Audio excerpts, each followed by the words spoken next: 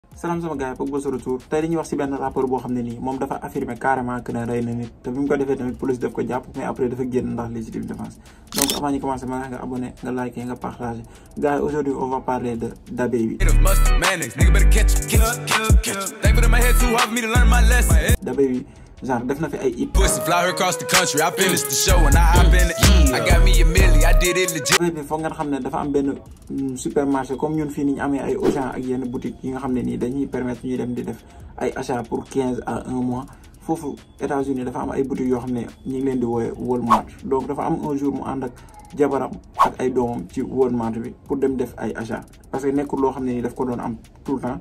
moment boobu fa nga xam ne dabe bi bokkoon na ci artistes yi gars yi gënoon sollicité si rap game bi tout le temps gars yi dañ ko doon proposé ay billets David mi ngi doon def ay tournées mi ngi doon def ay concerts et tout donc amutoon temps pour nekk ak waa gaaleem donc ci la décidé genre jàpp benn samedi soir wala benn dimanche dem Walmart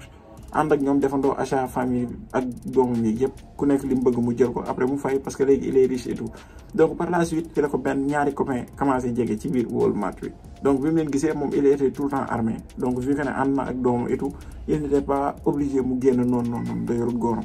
donc si la leen approché dem jege leen wax ak ñoom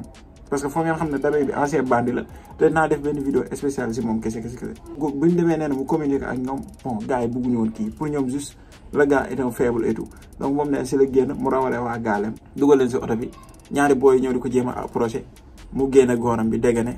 dóor kenn ki kooku wàcc blessé mu téere keneen ki kooku fa la yem ci saa si sur le coup la dee donc après loolu noonu si la dem police mu rendre mais bi ñu demee ba def procès bi fay na caution mais après dañ ko libéré parce que dafa plaider légitime défense te bu ñu xoolee tamit gars yi ne ils étaient armés te pare woon nañ pour braquer ko comme ni ñu rey woon extentation ba léegi nekk fa SR ak nga siiw à tout moment mën nañ la braquer moo tax léegi SR yëpp presque gars dañuy am ay garde rapproché mais dañuy yoraale ay góor ñoom tamit pour protéger en cas de situation bu demee ba critique quoi donc gars yi dama ñu général li ma nekkoon histoire d'Abbé bi bu nga xam ne moom bokk na ci rapport yi nga xam ne nii kil na nit te naa jëlaat ñeneen ñoo xam ne tamit même chose lañ def donc à la prochaine